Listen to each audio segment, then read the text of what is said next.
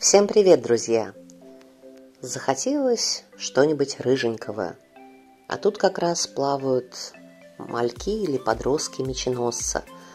Правильное название – меченосец двухлинейный – Sunset.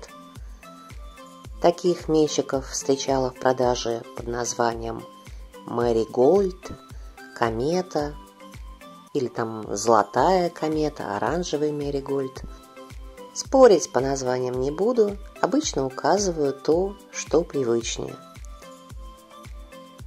По поведению содержанию, как обычные меченосцы, то есть рыбки, иногда забияки, самцы дерутся между собой, самки тоже могут повыпендриваться, могут и выпрыгнуть из аквариума.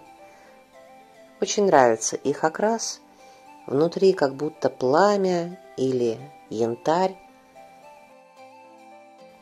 На хвостике две черных полосы с возрастом станут заметнее.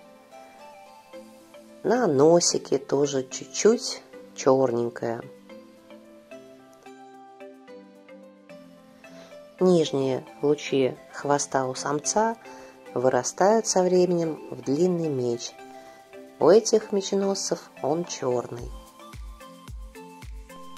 Аквариум для таких рыбок лучше предоставлять не маленький, литров от 70, ну и следить внимательно за соседями. Рыбок с вуалевыми длинными хвостиками могут потрепать, спокойно относятся к донным рыбкам. Здесь рядом с ними еще плавают живородки, дермогенесы, но с ними уже были какие-то стычки –